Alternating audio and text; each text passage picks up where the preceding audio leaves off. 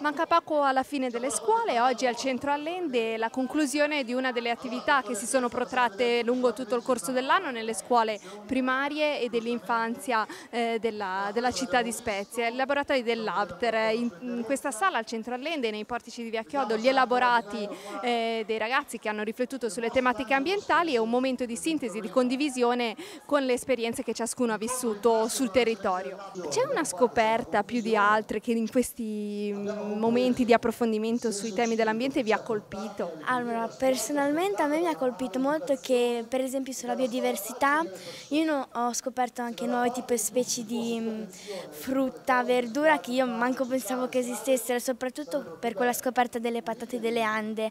Io ne conoscevo due, massimo tre tipi, invece poi guardando foto su internet insieme ai miei compagni e alle professoresse mi, sono, mi, ha, mi ha molto colpito questa biodiversità. Per voi invece c'è qualcosa che, stato, mm, che, vi ha colpito di più?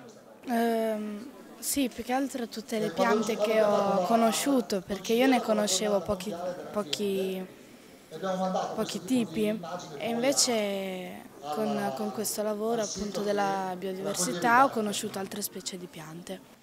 Riguardo alle abitudini, c'è un'abitudine invece che avete scoperto essere dannosa per l'ambiente, eh, qualcosa che vi è rimasto anche nel, nel quotidiano, un insegnamento? da portare avanti? Sì, tipo che alcune specie di piante hanno un clima, cioè hanno un clima per crescere e crescono solo con quel tipo di, di clima.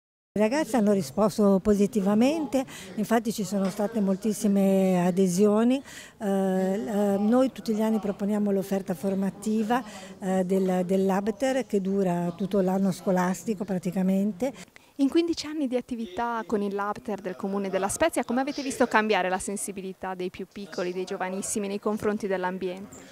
La sensibilità è una dote implicita nel, nel giovane, nel ragazzo, nel bambino.